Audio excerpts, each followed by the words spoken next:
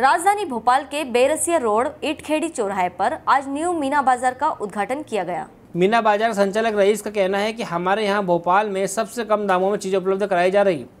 महँगाई के इस दौर में मात्र 10 और 20 रुपए में घर उपयोग की वस्तुएँ उपलब्ध कराई जा रही है। भोपाल से तैर खान की रिपोर्ट। दोस्तों जिस तरह से आप जानते हैं मैं मोहम्मद उमर न्यू मीना बाज़ार ईंट खेड़ी बेरसिया रोड भोपाल से।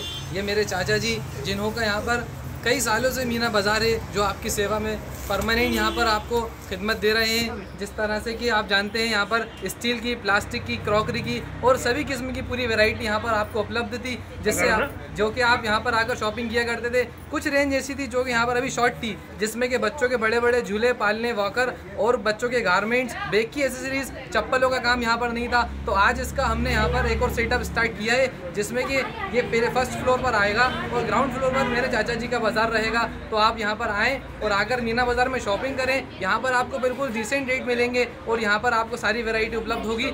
कोरोना काल के अंदर आप यहाँ पर आएँ, मास्क का प्रयोग करें, सैनिटाइजर का यूज़ करें और सोशल डिस्टेंसिंग का थोड़ा डिस्टेंस रखें। धन्यवाद। हेलो फ्रेंड्स आप देख रहे हैं हमारा channel S W twenty four news हमारे सारे वीडियो सबसे पहले देखने के लिए आप हमारे चैनल को सब्सक्राइब करें और पास में लगे बेल आइकन को दबाना बिल्कुल भी ना भूलें।